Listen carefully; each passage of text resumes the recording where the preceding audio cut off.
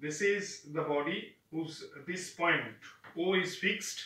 and a force vector is acted along the direction MP on this body and R is the distance of this point N from the point O. That's why we can denote the direction of this distance vector R from O to N. So we can give this arrow sign to denote the direction of this distance vector of this line of action of force from this axis of rotation or fixed. And uh, due to application of this force in this way, the body will rotate in anti-clockwise direction uh, because a torque acts a torque acts in this direction a torque will act outwards that means uh, if the body exists in this plane torque will be acting outwards